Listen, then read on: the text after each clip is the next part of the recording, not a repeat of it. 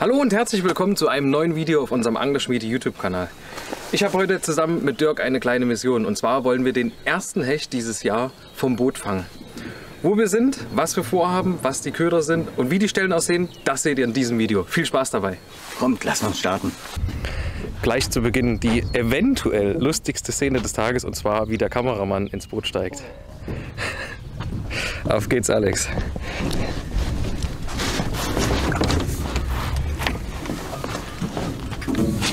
Ich gebe mal Gegengewicht.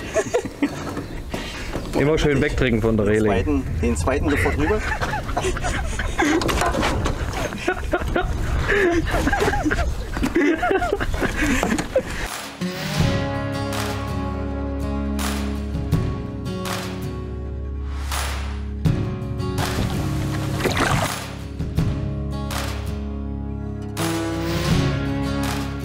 Wir sind angekommen am ersten Spot und ja, sowohl Dirk als auch ich sind schon sehr aufgeregt, was heute passiert und ob überhaupt was passiert.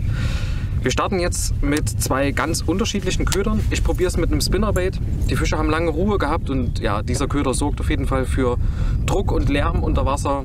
Zusätzlich gibt einen sehr großen optischen Reiz. Dirk startet mit einem Jerkbait, den zeigen wir auch noch mal gleich um einfach eine komplett andere Bewegung, komplett anderes Laufverhalten zu haben, eine sehr ruhige Bewegung. Und ja, jetzt starten wir erstmal. Das Wasser ist leicht angetrübt, von daher so ein bisschen Schockfarbe. Dirk probiert es mit einem natürlichen Muster, aber auch ein bisschen Schock drin, ein Barschdekor. Und jetzt machen wir den ersten Wurf. Auf geht's.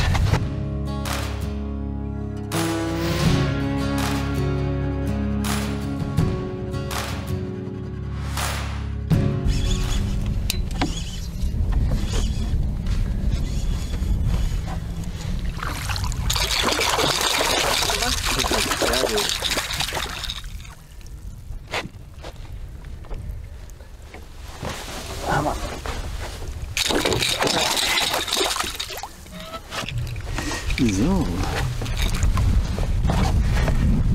Kein großer, aber mein. Der Einstieg ist da.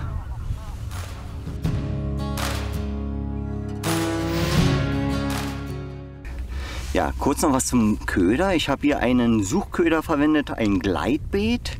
Der macht seine Bewegung halt in großen S-Formen halt eben und sucht entsprechend eine große Strecke ab. Ne, das ist jetzt ein Swim. Ja, in einem kleinen Speech Special Dekor, ein Black Perch.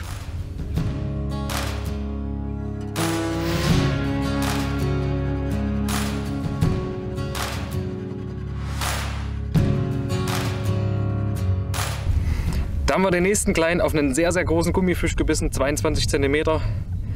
Sehr schön. Das ist Frequenzangeln. Bisher hoffentlich geht es weiter so, Dirk. Macht auf jeden Fall Laune. Geben wir uns Mühe, ne? Geiler Saisonstart bisher.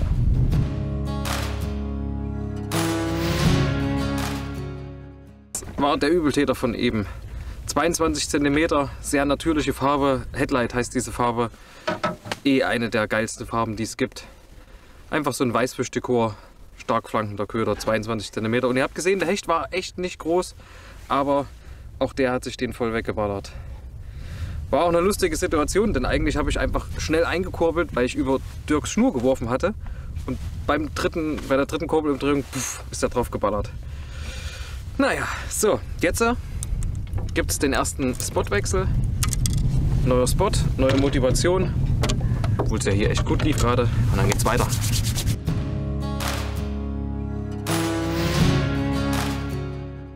So, jetzt sind wir am nächsten Spot angekommen. Wir stehen jetzt hier so bei knapp 8 Meter. Ist noch ein bisschen tief, aber zum Ufer hin geht es dann so leicht auf 2 Meter hoch. Das sollte für Meister Pike, denke ich mal, eine gute Stelle sein, ne, wo er den Weißfisch letztendlich auflauern kann. Weißfischaktivitäten sieht man ein bisschen auf dem Echolot. Für mehr braucht man das erstmal nicht, ansonsten wird ja, nach so einen Spots letztendlich geguckt. Na dann, Petri.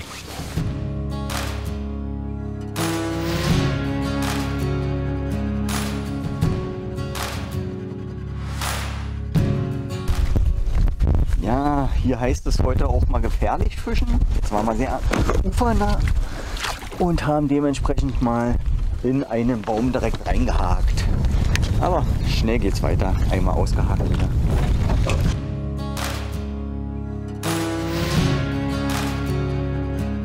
Ja, irgendwie ist so ein bisschen die Mittagsflaute angekommen, beziehungsweise die ist schon voll da. Seit, ja Dirk, was sagst du? Ich denke mal so seit dreieinhalb, vier Stunden haben wir mittlerweile keinen einzigen Kontakt mehr gehabt. Das ist echt äh, verrückt, weil es richtig gut losging. Aber ja, so ist es manchmal. Gerade beim Hechtangeln kenne ich es ganz gut, auch aus den Kiesgruben, dass es mittags eine sehr, sehr krasse Flaute gibt und auf den Nachmittag, Abend wieder besser wird. Um irgendwie doch an Fisch zu kommen, habe ich jetzt nochmal den Köder gewechselt. Ein etwas kleineres Modell und in einer sehr, sehr schockigen UV-Farbe. Ich hoffe einfach, dass das irgendwie noch den entscheidenden Reiz für die sehr lethargischen Fische gerade auslösen kann. Aber die Motivation der Fische, unsere Köder irgendwie Achtsamkeit zu schenken, ist gerade sehr, sehr gering. Aber wir kämpfen uns weiter durch, haben jetzt schon etliche Spotwechsel vollzogen und ja, jetzt geht es Stück für Stück weiter und wir arbeiten uns auf den Nachmittag hin.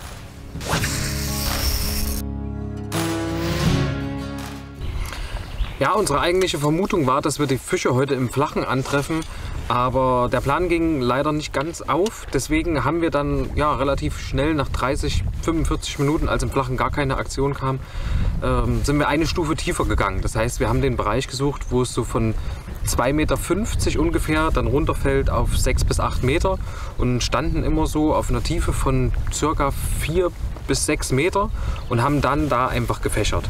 Und das war auch heute Morgen der Schlüssel zum Erfolg. Jetzt nach einer kleinen Pause können wir noch mal angreifen. Ähm, bleiben in der Tiefe auch so. Das Oberflächenwasser ist ein bisschen wärmer geworden, circa anderthalb Grad heute über den Tag verteilt. Vielleicht ähm, ja, haben wir mit der Kante ins Flache doch noch mal eine gute Chance, jetzt am Abend bzw. am späten Nachmittag einen Fisch zu holen. Dirk wirft weiter den Jerk bzw. Gleitbait.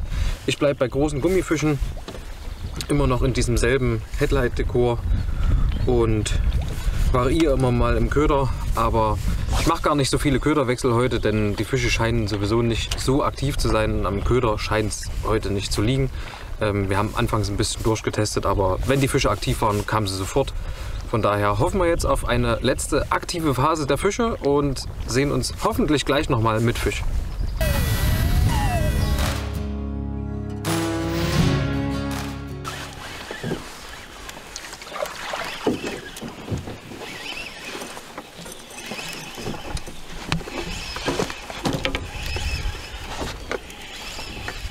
Besser.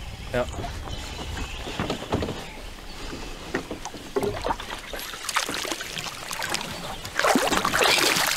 Jawohl. So, da ist er. Wahrscheinlich der letzte Fisch für den heutigen Tag. Nochmal auf den Swim gekommen.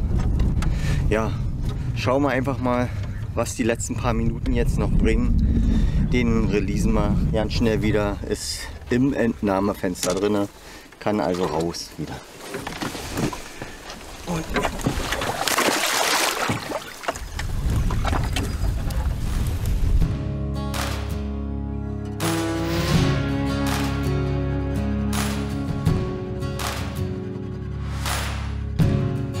Ja, mit dem tollen Abschlussfisch, den Dirk noch fangen konnte, kurz vor Schluss, beenden wir den heutigen Angeltag. Unterm Strich war es trotz der drei Fische ein sehr schwerer Angeltag. Mhm. Gerade die Mittagszeit, das waren so wirklich fünf, sechs Stunden äh, bis in den späten Nachmittag hinein, wo gar nichts passiert ist. Kein Nachläufer, kein Biss, nix. Aber es war trotzdem ein cooler Tag. Wir hatten viel Sonne haben die drei Fische gefangen. Das hat echt Spaß gemacht und war zumindest morgens ein kurzweiliges Angeln.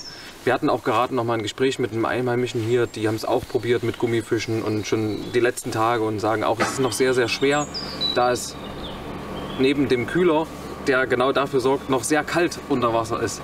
Und das war auch unsere Vermutung, woran es gelegen hat, warum es jetzt noch so kalt war. Ja, nichtsdestotrotz war es ein cooler Angeltag. Wir probieren es morgen nochmal an einem anderen Gewässer. Das ist insgesamt etwas flacher. Hier äh, ist die tiefste Stelle, Dirk, um die... 65 Meter? Ja, ja. das ist doch schon... Monströs, ja. ja. Äh, nicht gerade das flachste Gewässer. Äh, von daher morgen und dementsprechend auch in der neuen Folge auf unserem Kanal ein neues Video.